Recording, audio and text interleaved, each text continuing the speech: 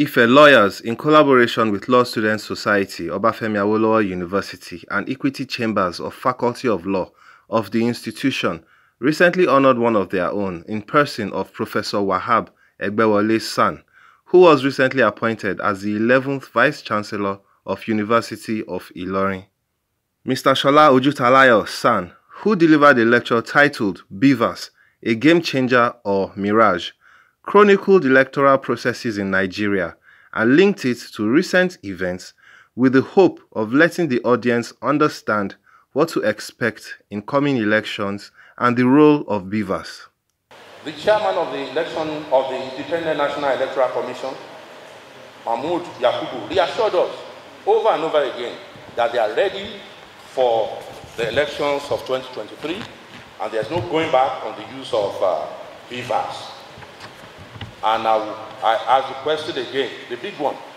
Is BVAS a game changer or mirage? It is safe to conclude, having regard to the substantial success recorded in the course of using the BVAS at elections, about four up to date, even though there were minor, minor breaches, but substantially those exercises came out successfully.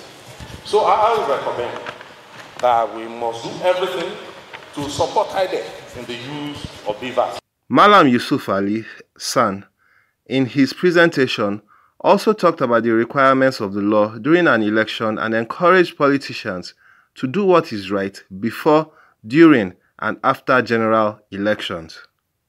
The very good thing about it is that we are taking the position for a long time since 20 uh, 15 that when the number of voters exceeded the number of accredited voters, it should count as overvoting.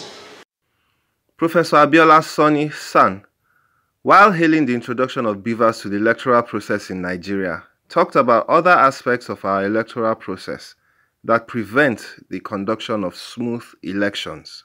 See, even when under the 2010 electoral law, INEC did not have that power. INEC started, uh, introduced technology device ahead of the reform. And then we move until we have BVAS. But the, the, the query I want to ask is, all these are with regards to federal election and election into the state House of Assembly what is happening to the local government election. Professor Wahab Egbewale was full of gratitude to God and the organizers of the event. Well, we thank God, and I want to thank the uh, students, the lawyers, the equity chambers for this great honor and appeal to them to continue to be law abiding, to continue to face their studies, and uh, look forward to a situation when one day they will also be honored like this.